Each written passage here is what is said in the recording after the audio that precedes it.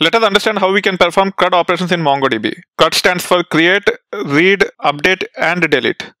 We can use insert function on top of collection to create documents. We can use find or find one or many other functions to actually read the documents from the collection. We can update the documents using several functions such as update, update many, update one, find and modify, find one and update, replace, so on and so forth. When it comes to delete, we can delete documents from a collection using delete many, delete one, find one, and delete, etc. So these are the different functions which we can use to perform CRUD operations against collections in MongoDB database. That being said, let us see some of the examples here. First, we'll start with insert and then we'll take it from there. Let us get into Mongo and start performing these CRUD operations from command line. Here I'm already in the Mongo and as of now, we have four databases admin config local test. We can say use HR to create HR database. And as part of HR database, I want to create a collection by name employees. We can actually directly invoke insert function. As employees does not exist, it will create that employees collection and it will insert this document.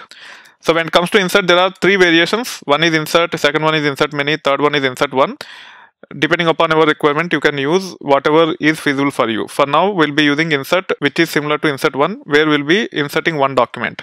So as part of the insert we can specify the document details in curly braces which contain the name of the attributes and its corresponding values. So we'll be having employee number which is nothing but 2 first name which is nothing but alexis last name which is nothing but bull company some company LLC and then age 30. We just need to specify the column names and the values corresponding to it. We don't need to specify the data type of these columns. It will be inherited based upon the value we are assigning to those attributes. In this case, employee number is of type integer, age is of type integer. Others such as first name, last name and company are of type string. Now one row is inserted. You can actually review the data by saying db.employees.find. You can specify these curly braces uh, without any condition, which will fetch all the rows from the table or collection. You can see the data here. However, to beautify it, you can use a function called pretty and you should be able to see the data in a bit better readable fashion. So these are the attribute names and values which we have uh, passed as part of the insert function. However, this is system generated. Whether we specify ID or not, it will actually generate a unique ID of type object ID and it will add to ID. However, if you want to pass a custom value which is uh, unique in nature, you can do so. In this case, let's say I want to use ID itself to store the employee number. For that, I just have to say db.employees.insert and then we have to pass a value to ID, let's say 2 in this case and then we should be able to pass first name as well as the rest of the values. Now the row is inserted. We can say db.employees find. When we don't have condition we don't need to pass even curly braces. Whether we have empty curly braces or not it is same.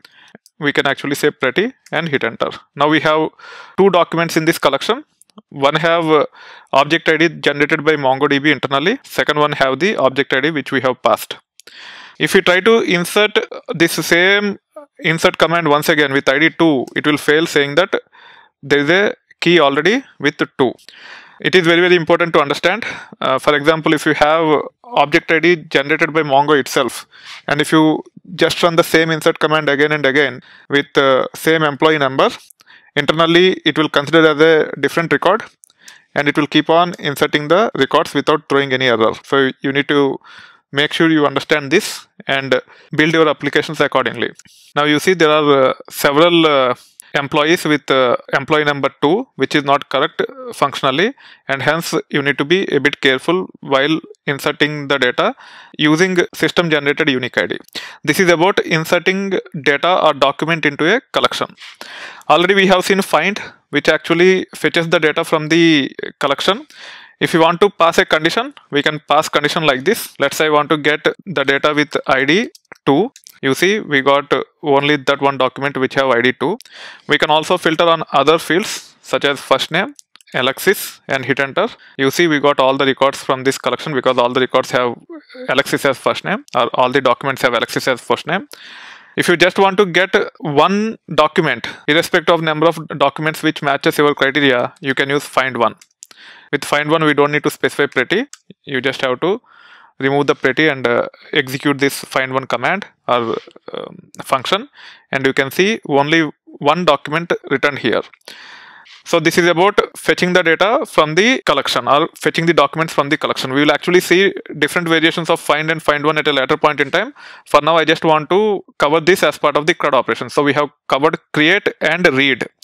Insert for create, find and find one for read. Now let's move on to delete. As we have several duplicates, let's say I want to delete uh, several of these documents and have only one.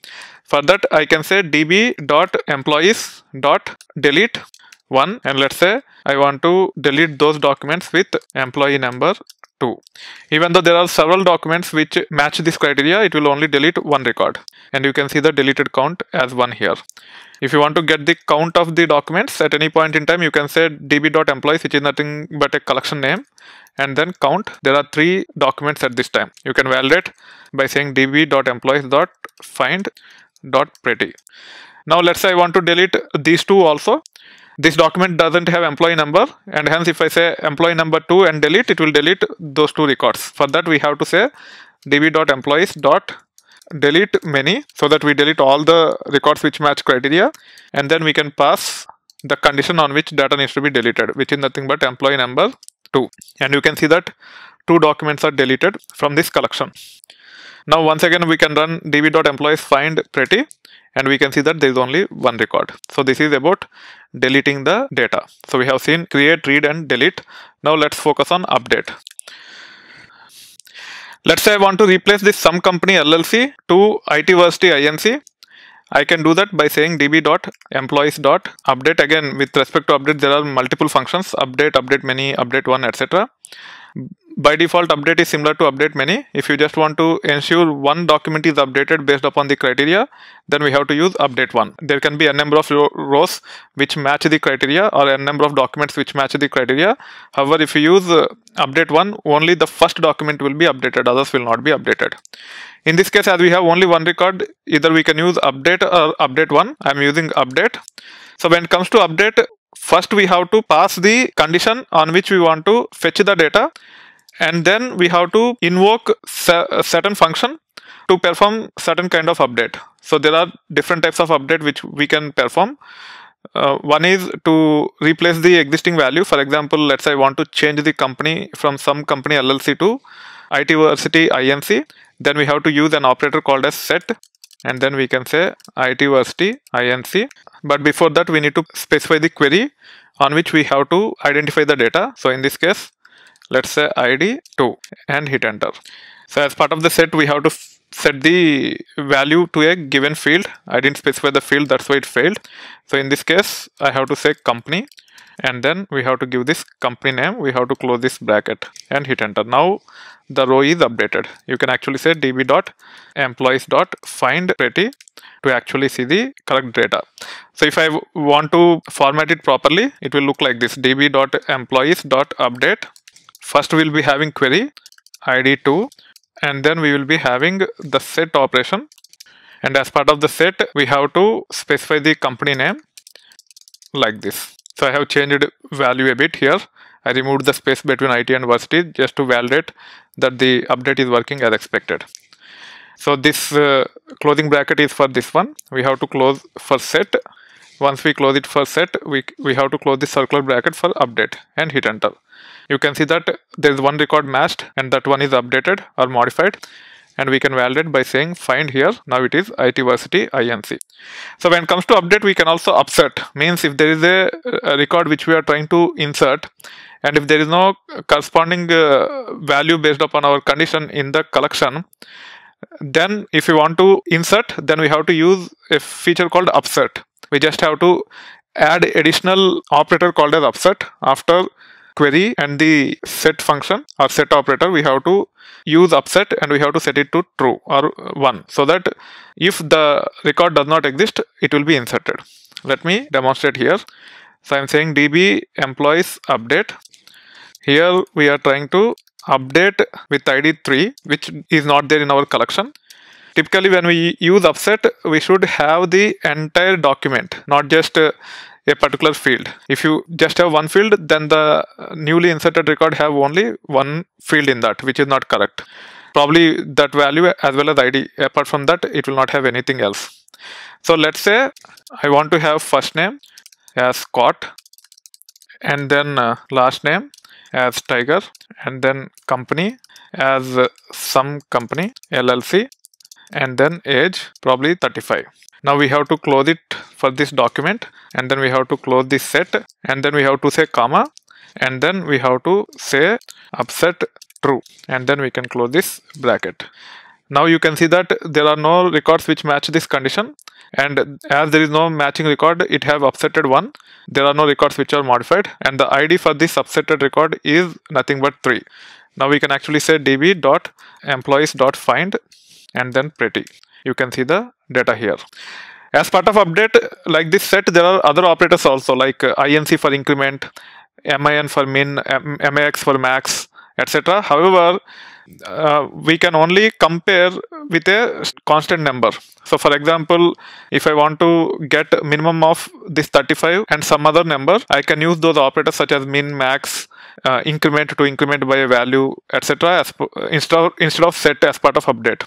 However if i want to derive a value from the existing fields and update it is not possible using update function in uh, mongodb. For example let's say we have scott in all small characters if i want to convert into uppercase and if i want to update the first name of all the data it is not possible we will not be able to achieve that uh, because as part of update statement um, we can only use certain operators such as set, min, max, etc. And we will not be able to invoke functions as part of those operators such as set, min, max, uh, increment, etc. It is very, very important to understand and it's a significant limitation because in traditional RDBMSs, if I just want to update all first names uh, using uh, uh, capitals of the existing data, it is very straightforward. We can just run one update statement and it will take care of it for us in mongodb if we have to take care of such kind of stuff we have to write javascript code to simplify it using queries it is not very straightforward that being said when it comes to update we not only have update update many update one. We also have something called as find and many find one and update replace etc uh, so you can use one of these commands. You need to understand how they behave and then you have to take it further. When it comes to application development there will be higher level apis which take care of uh, hiding the complexity of these things so you don't need to break your head when it comes to application development however in the backend if you have to understand how to perform operations uh, sometimes you have to do that to fix uh, the bugs etc you need to be aware of all these uh, uh, commands or functions which can be executed in MongoDB directly. When it comes to higher level uh, applications built using Node, there is a plugin called Mongoose. Whether you want to update or insert a data, you just use save. If you want to fetch the data, you have to use find. Uh, uh, so on and so forth. There will be some higher level APIs. You have to be familiar with those APIs than these lower level APIs which are relevant at the database level.